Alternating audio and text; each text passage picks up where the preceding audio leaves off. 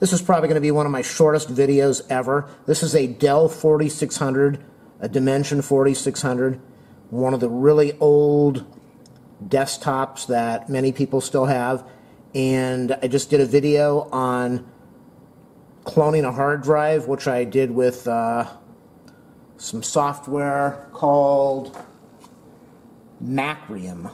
You can do it with Acronis or Clonezilla. I used Macrium and now I'm going to be putting the hard drive in there. So when you look at this thing, it's just kind of really confusing how you put a new drive in this thing. So that's what this video is going to be about. I'm not going to make it 10 minutes like everyone else is on, how, on showing how to do this. You slide the outer cover off. If you don't know how to slide off your outer cover, then you probably shouldn't be doing this. But you slide off the left side cover, and you might want to also take off the front. Let me show you the front that I took off. There it is. You can see that I took the front of the computer off. You probably don't have to do that, but you might want to do it while you're at it. Clean up all this dust, which even though I dust it every month, just gets built up all over the place. Okay, so when you open this thing up, you're trying to figure out how in the world do I remove this hard drive because they don't really make it self-explanatory. What you need to do, I'm not going to turn the PC upside down, but underneath on the bottom are two screws and those screws are holding in your hard drive bracket. This bracket over here that holds your hard drive. So you need to remove the two screws on the bottom. This metal case will come off that is holding your hard drive inside over here. There's also a screw on the side at the very far back. Um, you see that? You probably can't see it, but there is a screw hole way, way, way, way, way, way back there. There it is. See that screw hole? There's a screw hole back there. You're going to take the screw off that is holding on the leg of this bracket. Then you're going to take out the bracket and you're going to remove the two screws.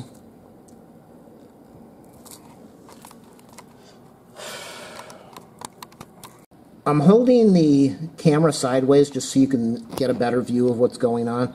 This is the hard drive case.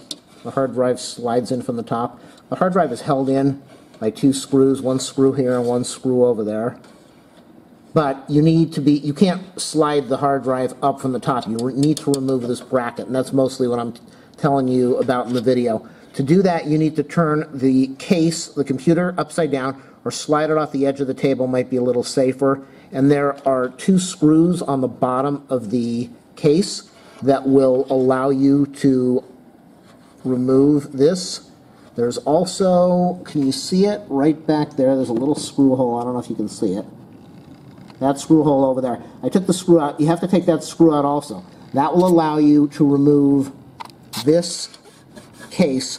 Then you can put your new hard drive in, slide it in, put your two screws back in, put the screw in way, way, way back there, put the two screws in on the bottom, make sure everything's lined up, plug in your power cable, your IDE cables, and that is how you replace a hard drive and a Dell Dimension 4600 desktop computer that is probably like uh, 10, 11, 12, 13 years old. It's a really old PC.